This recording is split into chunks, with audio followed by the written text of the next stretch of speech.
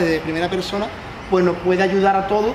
eh, de cara al futuro. Y al final lo que queremos aquí es formar a personas, formar a deportistas y que eso nos ayude a ser futbolistas. Aquí la idea de hacer un proyecto en el cual se cuente con la cantera, se está viendo que es real, cada vez intentamos que sean más jugadores de, la casa o del entorno, también para nosotros la casa, gente cercana a Jerez, gente que, es de Jerez, que está afuera, que vuelvan, ¿vale? Y que seamos un club en el cual esa filosofía pues, pues, pues la llevemos a cabo. Tanto juveniles como filial soy los equipos más cercanos al primer equipo y que este año yo veo muchas caras conocidas y me familiarizo,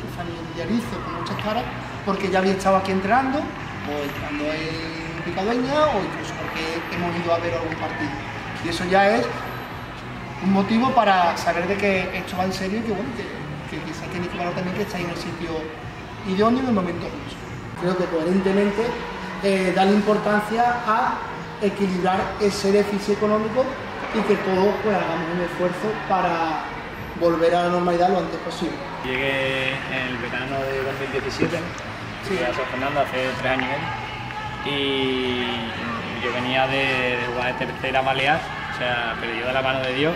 que había jugado 20 partidos, había metido 5 goles, vamos, y, me quisieron varios equipos de tercera aquí eh, por la provincia de Cádiz, por Galicia, por Valencia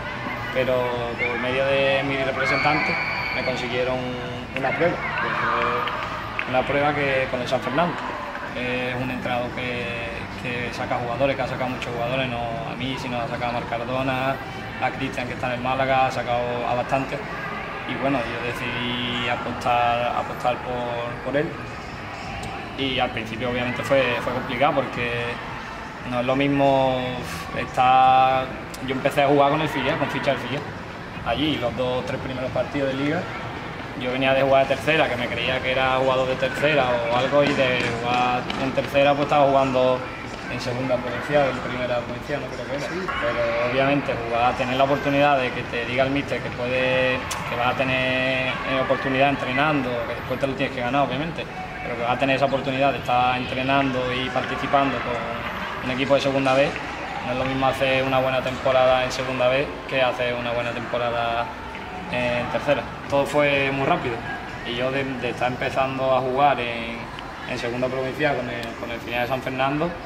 al terminar el año, esa temporada, estaba ascendiendo a primera división con, el Valladolid. Es un escaparate brutal para que si hacéis buen año, pues en lo económico ahora mismo a lo mejor pensaréis que dais un paso para atrás, pero en un futuro puede ser que que deis 10 para adelante, como me pasó a mí. Se está trabajando en, todos